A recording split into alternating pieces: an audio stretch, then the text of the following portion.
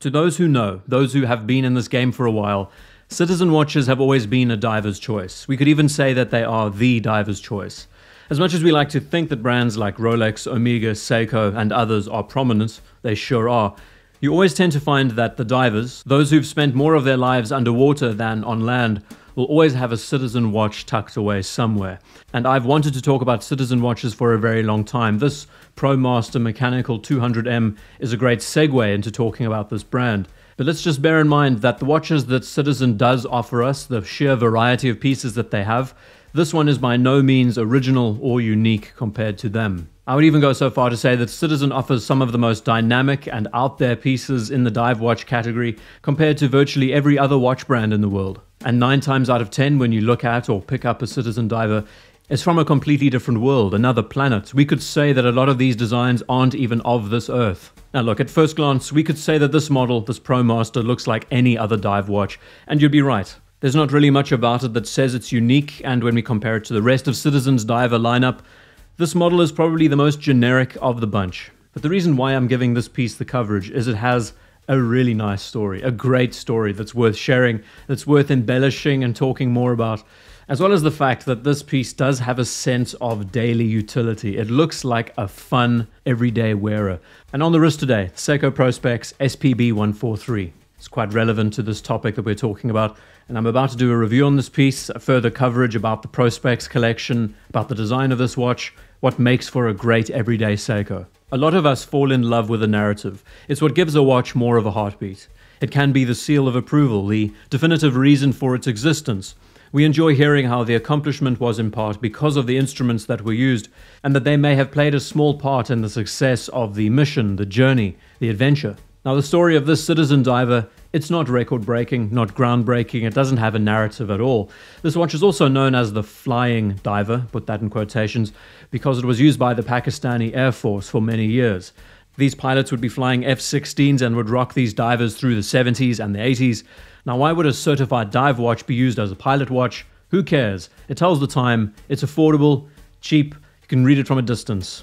That's all that really mattered, right? And a similar story could be said about the Yema Superman and how it was used by the French Air Force for a long time. And like a slew of so many other dive watches bought at this time, they were affordable, accessible, it did what it said on the tin. And that's all that mattered. There is nothing special about this watch. It needs to be re emphasized again. I don't believe that there was much advertising around this watch back then. I mean, we can see that it's not a model that is aiming to be anything groundbreaking in any area. So in 1983, a man by the name of Neil Blakers was taking a Saturday stroll on Long Reef Beach, which is in Sydney, Australia, where he saw this mass in the surf. He saw that it was a watch face, but it was covered with all sorts of sea life and barnacles. So he took it home and he used lemon juice on the face to clear it up and it was still able to self wind and tick. He saw that it said Citizen on the dial, so he took it to Citizen Watch Australia, which was then sent out to Tokyo. And the experts were able to take it apart and have a good look, and basically came back with a story to say that this watch has been submerged in the ocean for between three to five years. It was also a Mark I, or a very early generation of the Citizen Diver, now, nothing is known about how it ended up in the Pacific Ocean, if it was lost overboard, if it slipped off a diver's wrist. Now, more likely than anything else, since it was on a nylon strap, it was found on a nylon strap, it probably came off a surfer's wrist and ended up in the reef. It spent years being thrown around and became a host for life and eventually was washed up on the shore. Now, let's be honest, this is not an amazing story. This is not the best story about heroes and villains and conquering mountaintops, but it's humble the humbleness of a watch that managed to surpass requirements and specifications even in the process of nature claiming it. It was still able to survive. Now let's just bear in mind that this is salt water we're talking about. This is the ocean. Extremely corrosive. I mean, mechanical things don't last in this environment very long. So this was the inspiration behind the recreation of this great little diver. The ProMaster Mechanical Diver 200M NB6021. I hope I got that reference right. And the specifications, I mean, pretty basic. It's 41 millimeters in diameter, 12 millimeters thick. It uses super titanium, which is something we'll get into, with a hardening surface treatment, it has a sapphire crystal, a gloss dial, an automatic 9051 caliber, which is a Miyota based movement. It has hand winding, it's anti magnetic, it's got an accuracy of plus 10, minus 10, the usual specifications of most of these calibers. And all of this for a very reasonable price. Now, since this is a newly released model, it'll probably mean that it's the most pricey of the bunch, but bear in mind again that this is just a taste of what Citizen does offer, and they have so many other models in their back catalogs that are well worth looking at that are half the price of this watch. Let's get into talking about the design of this watch now properly. Like I said, it's simple, it's nothing groundbreaking. This watch is not even remotely unique, but the question is is that a bad thing? Do these types of daily wearing watches need to do things differently, or can they execute all the usual design traits flawlessly and as a result end up much better? Now, maybe this is something we can get into and debate in the comments.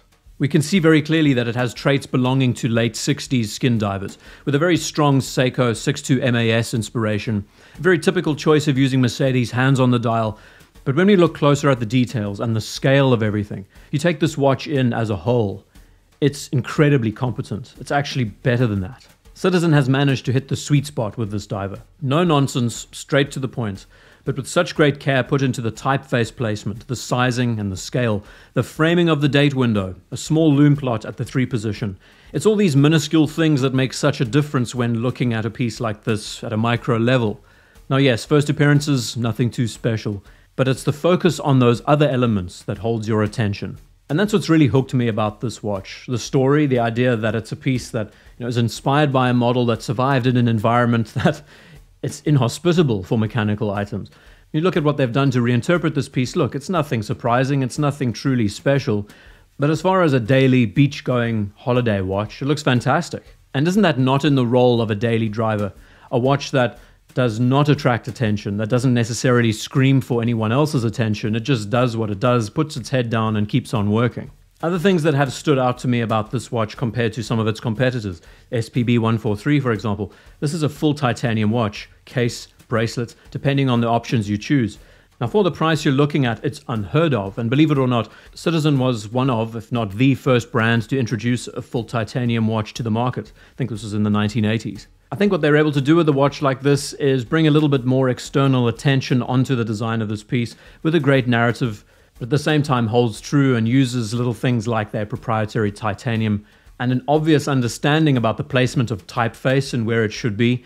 There is nothing I would want to change about the dial of this watch, the size of the plots, the fact that they're all applied the automatic text used underneath the Citizen logo. It's just the way it should be. If anything, I would want to see the bezel fully graduated like the original. I also enjoy the fact that they didn't add any lume to the underside of the Mercedes hand and they kept it skeletonized. That does give off this feeling that the lume might have fallen out of the hand back in the day, since this is like a reissue inspired model. At the same time, it also gives the hour hand less of a presence, a more floating presence, not something that takes up all of your attention like on most dials. So, in closing, an example of a watch like this shows us that you don't have to be original to create something great. You don't have to be unique. You don't have to do anything groundbreaking. More importantly than anything else, you offer something that's wearable for most people, that works as a great daily wearing piece, but also uses these materials like titanium, which for a dive watch, superior. It's absolutely fantastic. All the while having a strong focus on the design language and keeping it looking relevant. Am I saying that you should go mad for this watch? No. I hope that this brought a bit more attention to the brand and to show you just a small taste of what they offer. Safe to say that Citizen truly is the diver's dive watch, and there are so many good reasons why. This piece is obviously filling a niche, it's not for the professionals. It's not a watch that by any means is reinventing the wheel, but it does have a great presence and narrative that will help push it forward. A man by the name of Neil Blakers, who was taking a walk on Longreach Beef. Longreach Beef. Long Reef Beach. Longreach Beef.